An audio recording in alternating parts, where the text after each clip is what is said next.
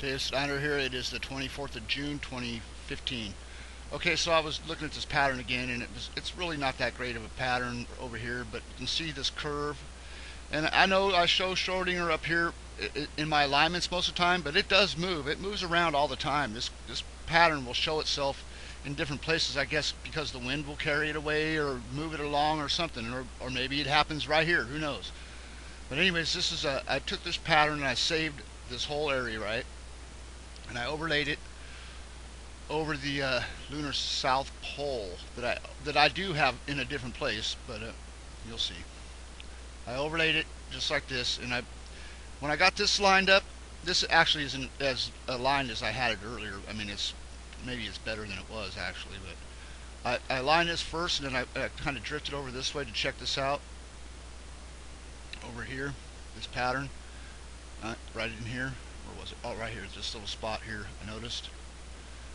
Right there. See how it falls right into that little spot right there? And you can see there's like a big round crater there. And you can see this pattern here.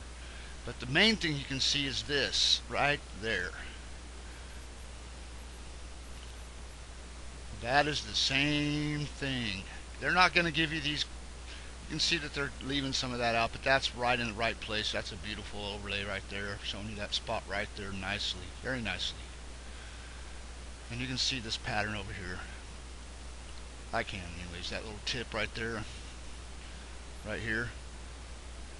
And you see, you can kind of see the rest of it, but there's a, a circular pattern in, in the center of this right here, right in there, that they're splitting with that line a little bit.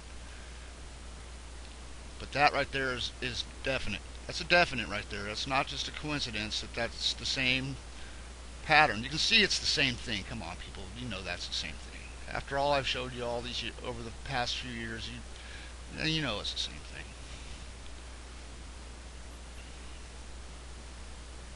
I mean, you got this curve coming out and everything like that. It's just a, wanted to point that out, just something to check out. And you can see this, look right here. See how this curves up? It got this big spot right here that's interesting that I wish I could see all of, but you can see how it goes up like that, curves. Pretty interesting. I wish they showed stuff like they used to. That puts the center of it right there too. That's that's an important spot on the earth, people. Right there is an important spot.